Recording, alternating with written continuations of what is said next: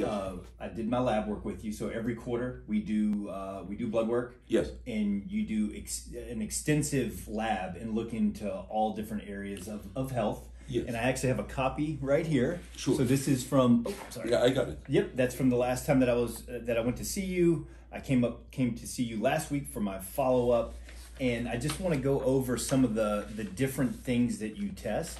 Yes. And uh, a little explanation because I think a lot of people are, are overwhelmed, especially guys like Chris who haven't been to the doctor in many years, and they're not sure, you know, what to expect. Yes. There he is, right there, and not really sure what to expect and what are all the different uh, levels here we're checking. So.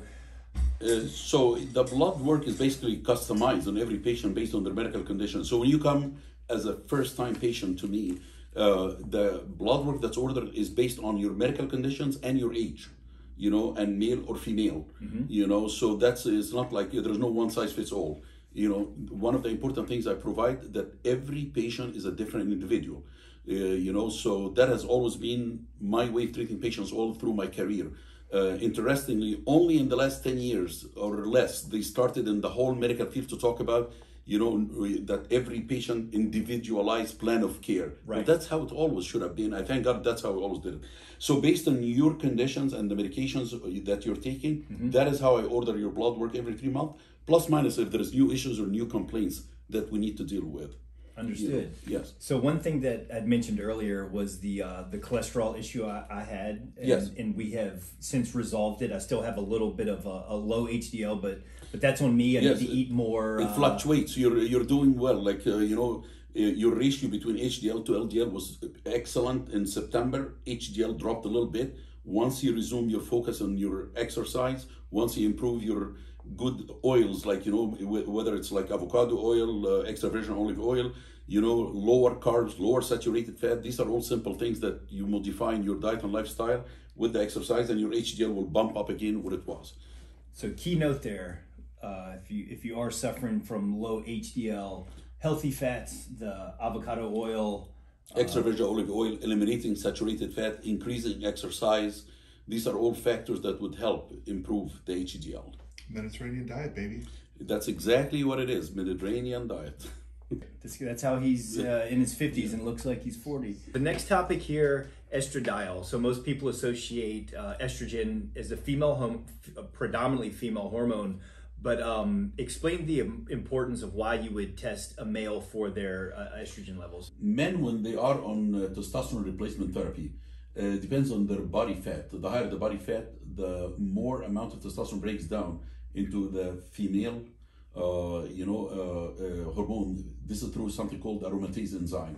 So that's why, especially bodybuilders, if they're using very large amounts of testosterone, they'll have very high amounts of estradiol or estrogens in general, and that's why we they're used to uh, uh, taking an aromatase inhibitor like an estrogen blocker.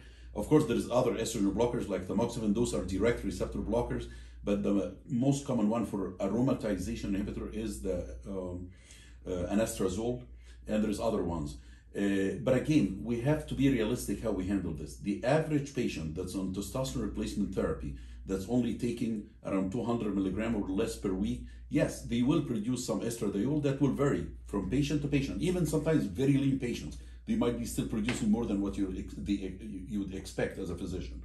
The key thing, we don't like to touch and lower that estradiol unless it's causing symptoms. So what are the symptoms? If a patient tell me they're having like soreness and severe pain in their nipple and they have a little lump behind their nipple, it's called gynecomastia. So then we will put them temporarily on anastrozole or another aromatization inhibitor to slow down that estrogen until after a few months their body will adapt and they may not need to stay on it lifelong.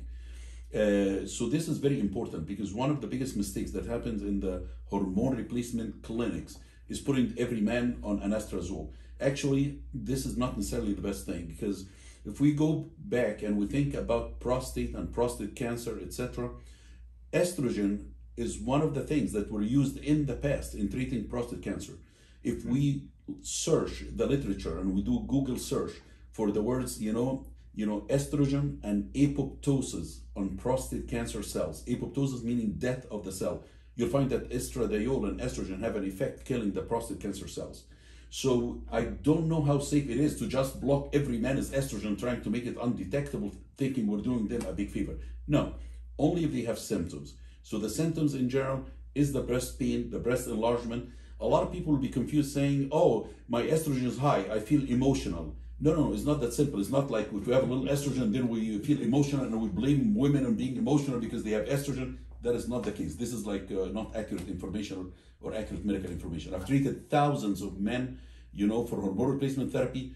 Mm, I, a lot of a good percentage of those, not a very high percent, were bodybuilders, professional athletes who were using testosterone in their own way, and I had to manage their testosterone in the presence of high amounts with their estradiol. A lot of doctors, their stance on this, they'll just tell the bodybuilder, no, no, no, no, you have to stop immediately. You're gonna die. Uh, you know what? When I was young, I did what these people did. When I was watching the people who were teaching, me. but then at some point I realized that well, somebody is his career is bodybuilding. He's gonna do it with me or without me. So I have one of two options as a doctor: either learn and understand everything that has to do with hormones, testosterone, estrogen, encyclopedia of anabolic steroids, and understand the language that these people talk so I can protect them, I can guide them, or have the usual stance in the medical field, like every endocrinologist will tell them, stop this immediately, you're gonna die. Well, they're gonna do whatever they wanna do. So you'd rather save them and give them guidance if you can, and they're willing to listen mm-hmm. if somebody's educated guiding them, versus letting them do whatever they do. And then, yes, you'll hear a bodybuilder die every once in a while, sudden death, you know, from whatever instead of letting them make their own medical decisions, you're try gonna, to help them. You're going to help them and analyze their lab work and try to Correct. do and, it as safely as possible. And whatever they decided to mix of steroids, you have to explain to them you can't mix this with this, this with that because of this. So at least try to keep them safe, and at the same time they're going to achieve their goals.